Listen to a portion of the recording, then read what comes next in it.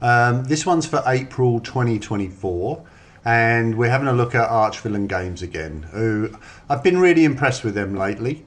Um, they're starting to do some really cool stuff again. I mean, the, the stuff's always good, but I think there was a period there where I felt their stuff was really overly detailed and hard to paint. Um, but that's just my personal opinion. So this month's fantasy release we're looking at is the Giantkin Darkfire. So let's get into it. Um, so there's the group photo of everything. I haven't got the one with all the names on, which is unfortunate, but um, these look from the outset pretty good. There's a couple straight away there, like these monster things. I know that I'm not going to like, but on the whole, I think there's going to be a lot of good models in here. Um, and there we go. Uh, the bestiary, this thing, the ember glare, not my thing at all. Just, it's just fodder to me. I wouldn't paint that. Uh, definitely not. But this guy, however, is the complete opposite. This is just, this is Archvillain at their best. You know, this real characters, a real, a little bit of narrative in the the whole setup. The pose is really good. I love the helmet, the spikes. Uh, carrying this wheel thing is wonderful, and the base is just terrific. Um, so this is top notch. Abs- absolutely love this type of thing. Yeah, and this is what they do best. Uh, again, not my sort of thing. Uh, blah blah blah blah blah. I've said it a million times. I'm going to skip on. Uh, this is another one of the Archvillain Society ones, a dwarf fighter. He's pretty cool. I, I, I like the pose. I like his head, the face, the little beads on his head.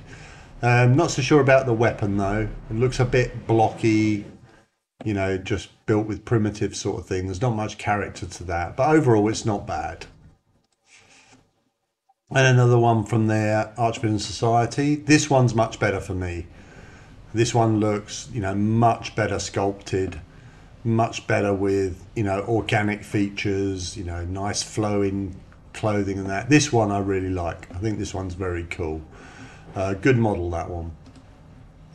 Um, and another one from the Society, uh, Matricia Fissel. Um, again, this one's pretty cool. I quite like it. Um, it it's not my favourite, but it's okay. It's still a good model. And now we get into the actual release, the Giantkin Darkfire, and what a way to start! This this is me to a T. I love this, absolutely love it. I I love the face, the head, the elongated jaw. The muscles are wonderful. The headpiece is just incredible, and it's got the swirling um, robe thing here. Like you know, it almost looks like a djinn um, I'm not sure if that's what an Efreet is, but I think it's similar to a djinn. But yeah, lovely. I, I absolutely love that. I love really cool hands on models as well, and this is brilliant. I love this. Hands on a model really express so much, I think, in into um, a character and the narrative. You can do so much with hands, and, and this one's absolutely brilliant. I love it. Um, another one of the Darkfire Fret. Again, this one's really cool. Um, again, yeah, love all this swirling robe tail, tail type thing.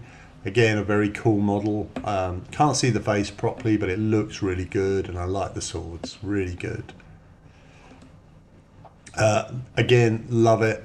Absolutely love it. I love this sort of muscly body. Again, the hands really cool this sort of it's almost like a skeletal type face with this elongated jaw which i really like and he, and these sort of sultan type hats are, are very cool yeah another model i really love um, and the fourth one in the set again th- this one possibly one of my favorites of the set this is terrific again just this elongated jaw great hands great pose the posing does so much to a character and the models, and and this one is brilliant.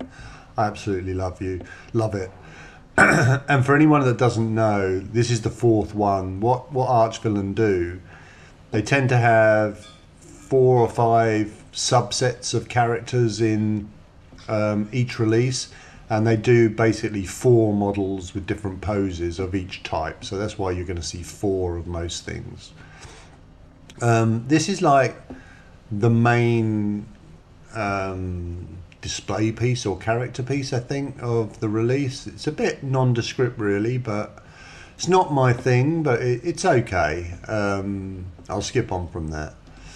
Uh, I get these ones, the Darkfire imps. I, I just don't like them. They look a bit silly, a bit cartoony. Not my thing. Yeah, like this, for instance. It, it just these just with the other models in the release that are really cool. They're very serious, very you know on point. These just don't fit to me. I don't, I don't like these at all. Again, they're, they're just daft. I mean, that one, it's it's like out of Gremlins. But some people will like it, but just not me, I'm afraid. Um, this one, however, these there's four of these Darkfire Matron, and this one is just beautiful. What a great model! Again, you know, it's just very cool. Um, there's a little bit of intricacy on here, and like I said, if if you're um, uh, someone who paints and paints everything bit by bit, this starts to get overly detailed. It's not too bad, but if you're someone who paints with you know contrast paints. Um, heavy washes and stuff. This stuff looks really good with those sort of paintings. So, uh, but it's a beautiful model, absolutely lovely model. And again, this one, this one is superb. You know, this is this is a whole diorama in a miniature. Just wonderful how she's lazing on this. I guess you'd call it a fireplace or a plinth of some sort, and she's got this bowl of, you know, either fire or magical liquid up here, but the mask with the half face again that's something i really love. And the pose again you know incredibly good miniature. I, I really love it. This one one of the matrons i don't love this one so much. I still think it's very good um, maybe because of the face being completely covered. I think if this was a half mask like the last one it would have looked really cool but probably one of the weaker ones in the set i think and again, this one I really love. Just beautiful. You know, so so well sculpted and posed.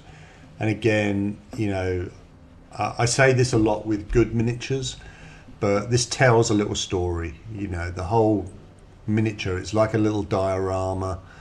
Not so sure about these flamey things, but you could certainly add some different elements in this to make it absolutely incredible. But I love the big hair. The chains are cool. Uh, this little burning uh, fire thing on her head. The mark. It's really good. I really love it. Um, now we're on to the Darkfire Ogres, and the, these are pretty cool. I think this this rough texturing of the stone or whatever it's meant to be is maybe slightly overdone. I would like to have seen this a bit smoother seeing the muscles and the, the arm a bit better. But it, it's still a good model. I, I love the face, chin. And again, half face is really cool. Um, another one of the Darkfire Ogres. This one, this guy's pretty cool. Um, but I, I, don't like these as much as the Matrons, I must admit. Uh, the Matrons and the Efreets, the Efreets are just really awesome in this set. Uh, yeah, this one's pretty cool. Um, but like I say, they're a bit a bit a less less of a painterly thing for me because these are all about texture. And again, if you're painting with contrast paints or speed paints, these are going to look great. You know, a couple, one or two layers of speed paints or contrast paints, and all these details are going to look great. But that's just not the way I paint. Yeah, another one again, exactly the same. I like the mask a bit more on this. This is quite kooky. This sort of, it's more like a quarter mask which is pretty cool. Um, but yeah, overall, I, I don't really like the textures and the designs on these ones so much. Uh, these ones, uh, another set in here, the Sentinels. These are very cool. I love this model. Um, I know I, the base is cool. It fits really nice. Hands again, really good. The head face area, brilliant. Love the scales or whatever you want to call this. Yeah, great model. Really love it. again, same with this one. Really like it. Another Sentinel. Uh, great model. Um, I love his mace or staff here with the hands all cuddled at the top. That's a really good design. A little bit sort of Kingdom Death, but I think everybody's borrowing a bit from everyone with designs these days. But again, just just a great model. Oh, yeah, I love it. Really, very cool. This guy's cool. Um, he reminds me of someone. I'm trying to think who it is. Um, but again, a bit more of a static pose, but at least he's got his leg up. But yeah, much better in terms of you know muscles, armor. The swords are pretty cool. Um, yeah, he's a very good model. Yeah, love it. And this one is one of my favourites of the whole pack. I think um, Darkfire Sentinel Four. Love the pose. The muscles are great. The helmet's great. The only thing I'm not sure about is this mace bit. Looks looks like it's on the wrong way. It looks like this should be the bit attached to the staff, but just a small quirk. I would cut that off and turn it around. I think it would look pretty cool. Um, but great pose, absolutely great pose. Looks a bit like um, Thor or a God of War or something like that. You know, you could you could certainly change this weapon and make an, an awesome model but it's very good. I, I like it a lot. And that's the last one in the Archvillain set, guys, for April 2024. My overall impression of this release is it's it's awesome. I, I love so many of the mon- models in here, and there's a good, probably a good 10 that I'd want to paint. They're really cool.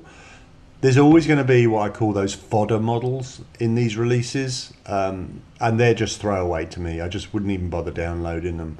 Um, but the character models in here are really good again. So this this one again is a big hit, and I, I like what Archvillain Games are doing at the moment. Well, thanks a lot, guys. Thanks for watching. Let me know in the comments below what your opinion is of these sets and of Archvillain Games. I'd love to hear. And I'll see you next time for another Brushmaster video.